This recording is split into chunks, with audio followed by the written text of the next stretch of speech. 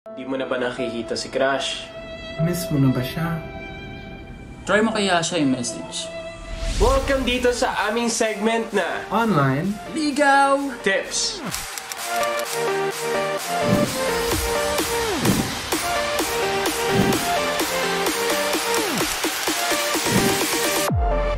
Mapapansin nyo, napakadami sa atin na sobrang mahihain kapag kakausapin si Crush sa personal. Pero pagdating ng online message, nagkakaroon tayo ng konting lakas na loob. Lakas ng loob na dapat mong gamitin wisely.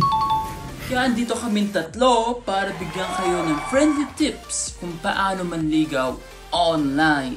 Number 1. Tandaan mo, unang message pa lang dapat smooth agad. Greet her with confidence. Pero reminder, not too confident. Kasi baka isipin niya mayabang ka.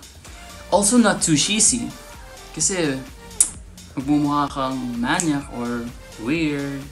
Dapat tamang, hey, how are you? Mga ganun lang. Mga ganito. Hey, boss! How's your day? Kumain ka na? Kain ka na! Number 2. Kapag meron na kayong komunikasyon, syempre, dapat isustain mo din.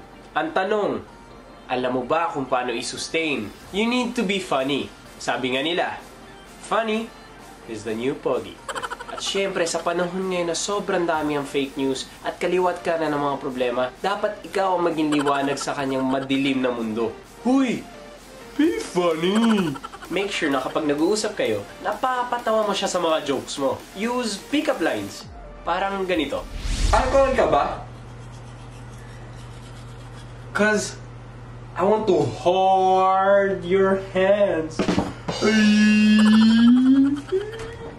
Number 3. Kapag strong na ang communication nyo, you both need a hobby.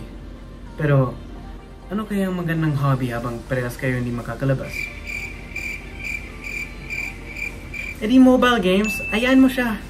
Sa panahon ngayon, sobrang daming mga games na pwede nyong laruin. Tapos ikaw, galingan mo para mananalo kayo. Pero, yung pinaka-importante dyan is na nag enjoy siya. Tapos, hindi rin masama kung magbigay ka ng gift. Paano? E di virtual gift. Magbigay ka ng mga skins or items sa mga nilalaro nyo. Kahit nga virtual gift lang yan. I'm sure magugustuhan niya yan. Sabi nga nila, it's the thought that counts, diba? And try to make simple hidden. Parang ganito. Nagustuhan mo ba? Wala pa yan? Hindi ko pa nga naibigay ang puso ko sa'yo. Number 4. Aminin mo yung totoo mong nararamdaman sa kanya. Be a man. Kailangan mo aminin sa kanya na hindi lang friends ang intention mo sa kanya.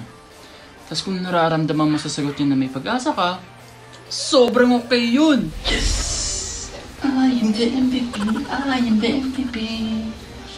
Pero kung nararamdaman mo negative, okay lang yun. Binigay ko ang lahat. Ito yung natitira kong love. Surprise lang pala tayo. At least, naglakas ka ng loob. Hindi mo malalaman kung may pag-asa ka kung hindi mo susubukan. Tandaan mo, life goes on. Number 5. Iparanda mo sa kanya na secure siya. Ipangako mo sa kanya na after ng calamity na ito, ay liligawan mo na siya sa personal. Na hindi ka lang pang online boyfriend. Pangako mo sa kanya na pang real life boyfriend ka.